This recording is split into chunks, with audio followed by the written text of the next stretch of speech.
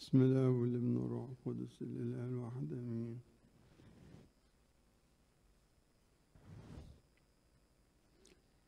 فصل الإنجيل الذي سمعناه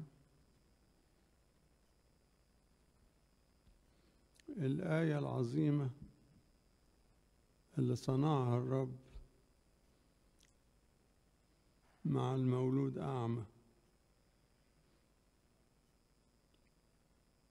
خلق له عينين.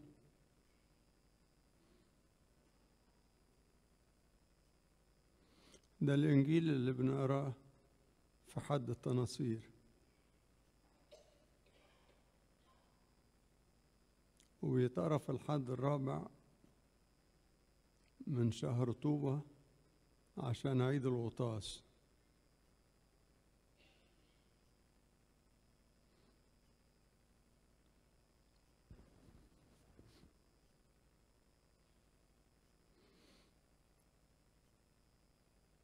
يعني كأن المعمودية اللي إحنا كلنا اتعمدناها هي خلقة العينين فينا. لما تعمدنا ربنا خلق جوانا عينين. الكاثوليكون واللي بيقرأ الشماس قال إيه؟ نحن نعلم أن ابن الله قد جاء وأعطانا بصيرة. فالمعمودية بصيرة. والبولس قال إن بني إسرائيل عندهم دلوقتي حاجة اسمها عمل قلب. قلبهم أعمى.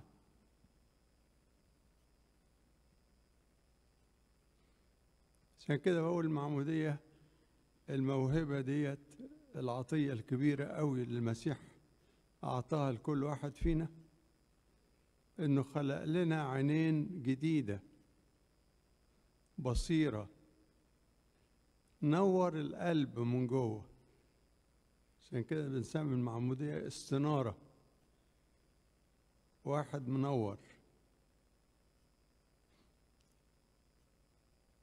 البصيرة المعمودية العينين نور القلب. زي ما بقول إحنا كلنا خدناها. لكن للأسف مش بنسلك بيها. تقول لي أنا عندي بصيرة. عشان يعني طب البصيرة دي قال إيه؟ قال الواحد يشوف بيها ربنا. طوبى لأنقياء القلب لأنهم يعاينون الله. وأنا عندي دي؟ آه طبعا. أنت عندك البصيرة اللي تقدر تشوف بيها ربنا معموديتك. أنا مش قادر أصدق الكلام ده.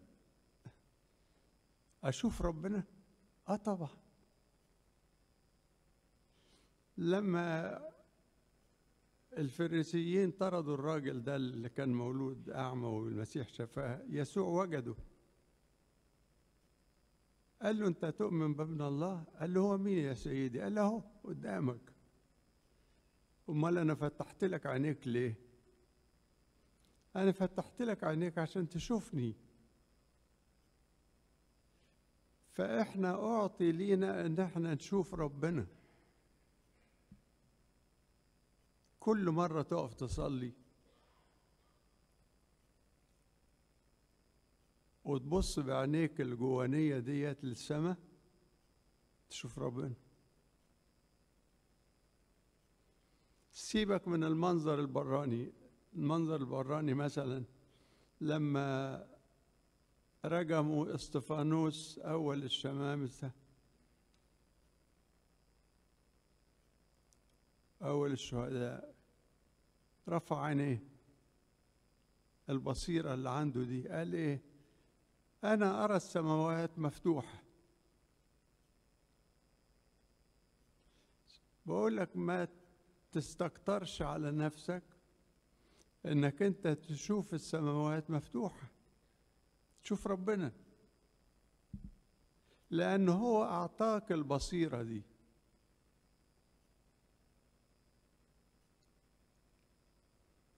أعطاك إنك أنت تشوف. طبعا ما تقرأ سفر الرؤيا تلاقي الملاك ماسك ماسك القديس يوحنا ويقول له تعالى شوف تعالى بص. هلم فأريك. طبعا دي حاجات ما تتشافش دي حاجات إيه دي السماوات نفسها. حاجات كبيرة قوي و... وأسرار كبيرة جدا. بس قال له تعالى أوريك. بص بص بص. ولأننا حصلنا على هذه النعمة الكبيرة العينين الداخلية البصيرة نستطيع أن نقول نحن غير ناظرين إلى ما يرى. إحنا مش بنبص الحاجات اللي تتشاف أمال إيه؟ بل إلى ما لا يرى. ولكن أنا ببص للحاجات اللي ما حدش يشوفها. وما حدش يقدر يشوفها. مش لأن أنا يعني أحسن من كل الناس. لا لأنه اداني البصيرة دي. أعطاني أن أرى وأتطلع إلى ما لا يرى. الأشياء التي ترى وقتية أما التي لا ترى فأبدية. شوف المسيحيين دول إيه النعم الكبيرة دي؟ صحيح. تقفل عينيك من بره كده وتبص جوه تلاقي مجد. حلول الله فينا. مش إحنا هياكل الله وروح الله ساكن فينا. إحنا مش بنبص من بره. إحنا عندنا الإمكانيات إن إحنا ننظر بعمق وننظر بعلو نتطلع إلى السماوات. بس زي ما بقول لكم إحنا ملخومين في الدنيا كده لخمة. ومهتمين بأمور أعظم ما فيها تافه. ومش مدين الأمر ده فعلا استحقاقه ان أنا اعيش بمعموديتي. وأن عينيا تبقى شايفة صح. فأقدر أقيم الأمور تقييم حقيقي.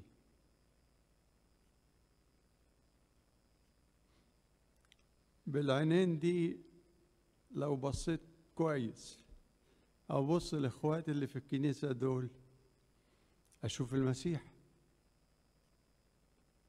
بالعينين دي.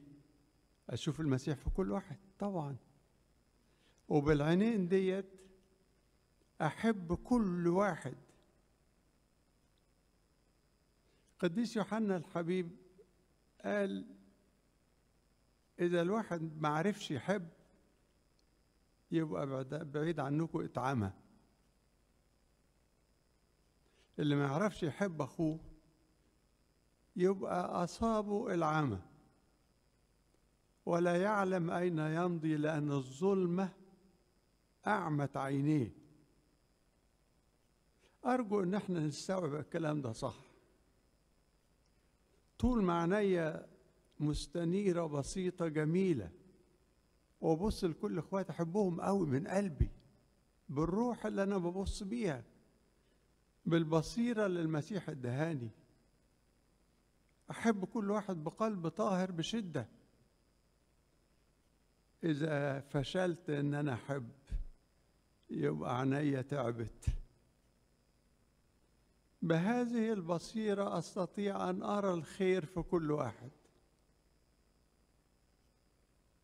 ولما البصيرة ديت تمرض أدين كل الناس وأحكم على كل الناس وأبص لكل واحد وحش وكل واحد عنده خطية. تبقى البصيرة فقدت. يبقى الواحد اتعمى.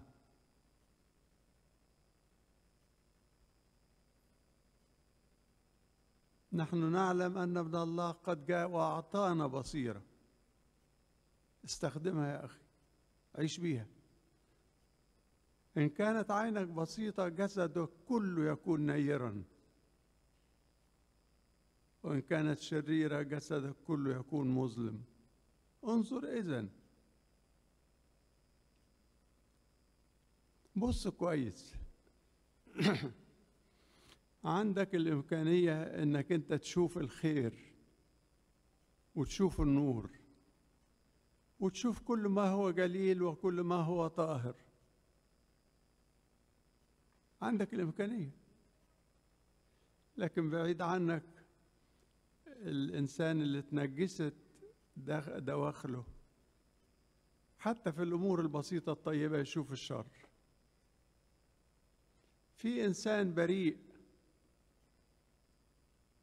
ضميره الداخل نقي. شوفش الشر.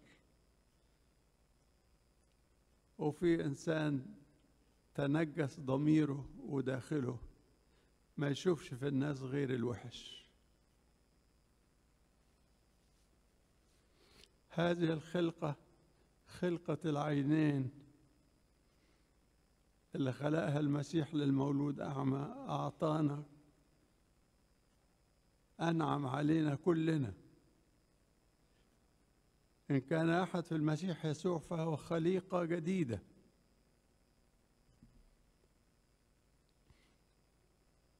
أغلى ما في الجسد العين. وأغلى ما في الحياة الروحية البصيرة. تقدر تبص كويس. تقدر تدي أعذار لجميع الناس. تقدر تشوف اللي الناس ما تشوفوش. تتطلع إلى السماء. البصيرة الروحية المسيح أعطاها لينا غالية جدا. غالية جدا. استخدمها. ارفع عينيك للسماء. طول النهار. طول النهار في كل حتة مفيش قوة في الوجود تقدر تمنعك من إنك ترفع عينيك إلى السماء وتشوف اللي الناس مش شايفاه. طبعا أنت عارف الكنيسة بيت الملائكة والمذبح الطاهر مملوء من القوات السماوية. مش بتشوف؟ مش لازم بالعين البرانية دي. كنيسة بيت الملائكة آه بيت الملائكة. والملائكة قيام حوالين المذبح طبعا. ألوف ألوف وربوات ربوات. في الحتة الصغيرة دي قال آه طبعا الملائكة ورؤساء الملائكة قيام عشان السر الأقدس عشان جسد المسيح الإله اللي على المذبح. مين يشوف؟ أي واحد. ما دام عندك البصيرة شوف. ملائكة ورؤساء ملائكة صدقني. ده مش كلام دي حقيقة. واقفين يخدموا السر الإلهي. وإحنا برضو واقفين. وإحنا بنسبح معاهم نقول نسبح مع الملائكة. فإذا ما كناش بنقدر نشوفهم بالعين البرانية لكن بالبصيرة الجوانية بنشوفهم. نفرح جدا ونتعزى جدا. بحسب الظاهر الخارج زمان في العهد القديم ملك أرام بعت جيش عشان يقبضوا على إليشع النبي. جيش كبير على واحد. تلميذه لما شاف الجيش ده حوالين الجبل ارتاع خاف. قال له يا سيد ده إحنا هلكنا. فطلب إليشع وقال يا رب اكشف عن عيني الغلام. افتح عينه. فلما انفتحت عينه شاف ألوف من الملائكة حواليه. فقال إيه ده؟ الذين معنا أكثر من الذين علينا. لما تنعدم الرؤية الواحد يتلخبط. لما تنفتح البصيرة تبقى مطمن. إحنا محاطين بملائكة. ورؤساء ملائكة. اطلبوا من المسيح إنه ينير بصيرتنا بالاكثر قول له يا رب أنر عيني. يا رب خليني خلي عيني وبصيرتي ومعموديتي شغالة. يا رب ما تسمحش إن عيني تظلم. اطلب زي ما المزمور بيقول بنورك نعاين النور. نسلك في النور بالعين البسيطة المنيرة بالنعمة اللي إحنا تحصلنا عليها بالمسيح يسوع. لربنا المجد دائما